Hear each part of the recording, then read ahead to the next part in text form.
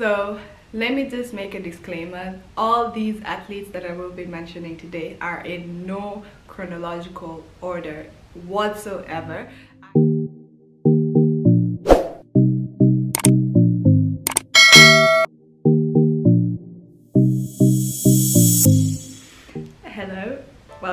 To my YouTube channel. If you are new here, my name is Agao Akul. I post self-development videos every Monday. I also post lifestyle and beauty videos on Saturday, hence why I'm posting this video today. So thank you for tuning in once again. I appreciate your love and your support. I appreciate the fact that you guys are interacting with me. I see you guys in the comments. I see you guys liking my videos and I am so happy and I'm so grateful that I have such supportive small community or should I say supportive growing community which of course leads to the big question have you subscribed yet if not then hit that subscribe button and turn on the notification bell to receive a notification. If you don't know this, I am on the road to reaching 1000 subscribers and I know that each and every single subscriber counts. Uh, we are now almost at 700 subscribers. Can you believe it? Like we're growing and I'm just so happy so thank you for subscribing to my YouTube channel and if you are a returning subscriber it's my OG I appreciate you. Shout out to you guys. You guys are the best. Thank you for tuning in once again. And of course, let's just get straight to today's topic, which if you have read the title of the video is yes, the South Sudanese at athletes. Let me just refer you to last week's video, which is about the top South Sudanese supermodels, which I will link up here. If you haven't watched it then check it out whereby I spoke about different South Sudanese models that I like and I'm a big fan of. Of course South Sudanese have been doing such a great job representing all of us. So I have made a list of five athletes whom I'm going to talk about in this video. And if you're interested keep on watching. So let me just make a disclaimer. All these athletes that I will be mentioning today are in no chronological order whatsoever. I decided to talk about these athletes because I personally love seeing other South Sudanese represent us very well. And the first person in my list today is you guessed it, Luol Deng Obi. If you are a South Sudanese and you are a fan of basketball, you definitely know Luol Deng. He is a professional basketball player who retired recently. He's been in the NBA since 2004 and he's been representing South Sudanese in such a big way. I have met him personally. He's very ambitious. He's a part of different charity organizations and of course I have to read about his achievements on Wikipedia so that I don't butcher anything. Your girl has to be accurate. Deng is a South Sudanese British former professional basketball player. He was a two-time NBA All-Star and was named to be NBA All-Defensive Second Team in 2012. Born in what is now known as South Sudan, Deng fled the country with his family as a child, eventually settling in the United Kingdom. He became a British citizen in 2006 and has played for the Great Britain national team. Now let's just talk about his professional career. Luol Deng has been playing for the Chicago Bulls from 2004 to 2014. Now that is a whole decade. He's been reigning. Of course, he's an amazing basketball player. Then starting from 2014 to 2016, he played for the Miami Heat. And from 2016 to 2018, he played for the LA Lakers. Whereby after that, from 2018 to 2019, he played for Minnesota Timberwolves.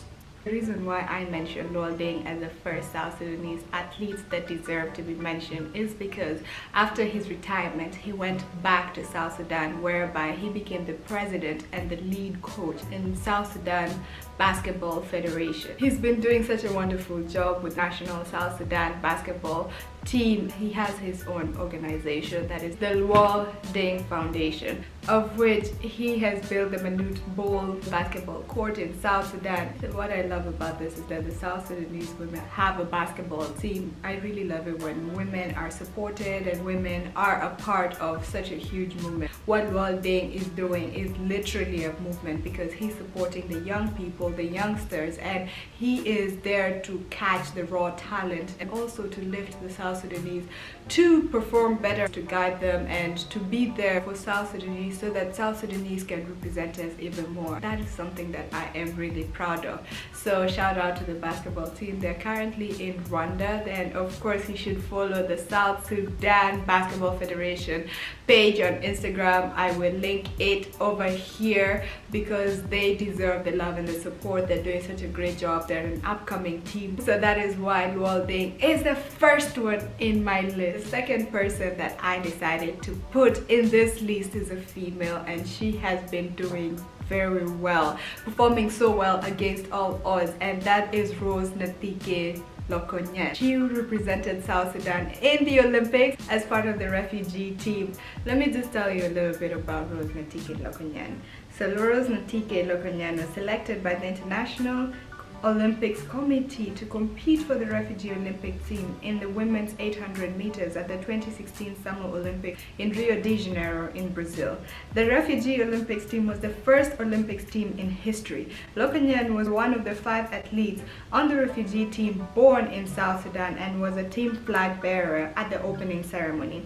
Nathike finished seventh in her first round heat. She also completed the 2020 Tokyo Olympics. Now, if that is not inspiring, then what is? Despite the difficulties that she's facing as a refugee, she decided to focus her energy and to train so that she can make her dreams come true. It's really an inspiring story because we know that there are definitely so many different refugees, not only from South Sudan, but different parts of the world who would look up to her and say, if she can do it, I can do it. The third person that I would like to speak on in this list is Thon Maker. If you are a South Sudanese, then you definitely know that maker name has been butchered because it's Thon Makir. As a South Sudanese, I know that name is pronounced as Makir. But Thon Makir is a professional basketball player. He joined the NBA in 2016. At that time, he was 19 years of age, which is really inspiring. The fact that he was so young and he's doing such a great job representing South Sudan. So let me just tell you a little bit about Thon Makir. Maker. Thon Marial Maker. Makir is a South Sudanese Australian professional basketball player. He attended Orangeville District Secondary School and played basketball in Canada's Athletes Institute. He was picked at number 10 in 2016 NBA draft and he played for three different NBA teams between 2016 and 2021. Wow. So let us just talk about the teams that he has been playing for since the time that he was drafted. So in 2016 to 2019, he played for the Milwaukee Bucks.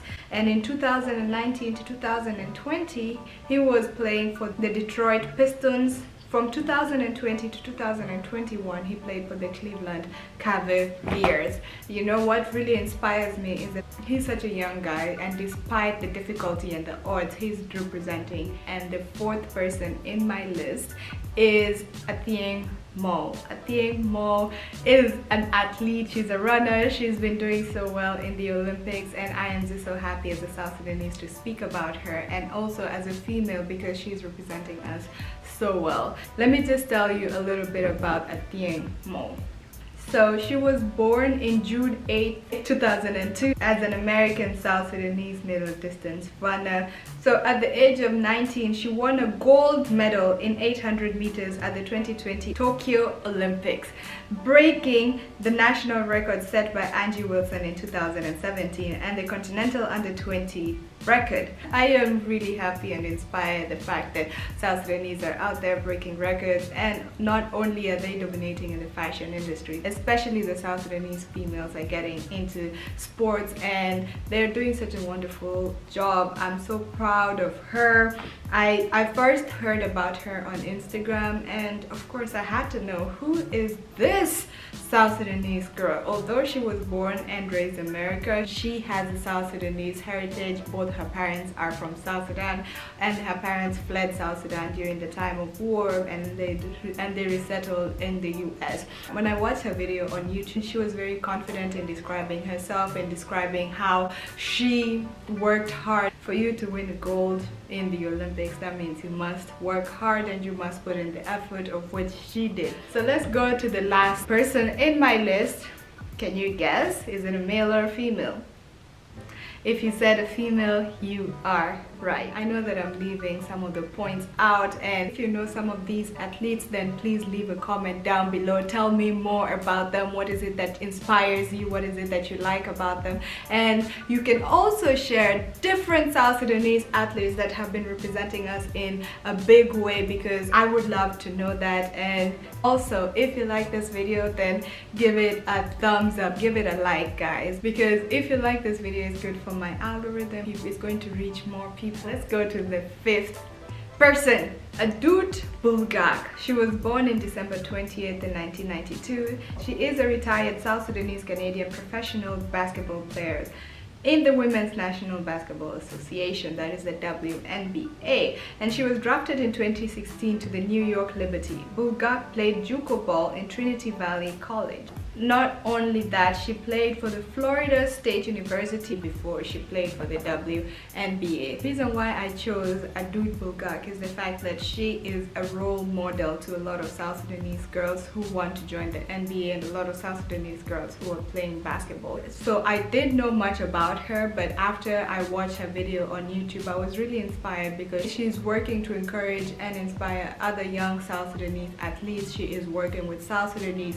which is a very big deal because I feel like South Sudanese female athletes need more support because we have so much potential and the fact that she is taking herself outside her comfort zone despite the fact that she has been to the top. She's going back home. She's going back to her roots. She's helping a lot of South Sudanese girls and who wouldn't want that? It is very inspiring and if you have any more information about Adut Bulgak and you know her then comment down below because I am truly interested in knowing what she does and I would like to speak more about this. So that is it for today's video. If you like this video then please give it a big like. Like my video guys. Comment and also share my video so that more people can get to know about this video. More people can get to know about the South Sudanese athletes. And lastly, very very importantly please subscribe to my youtube channel and turn on your notifications to receive a notification every time i upload a new video.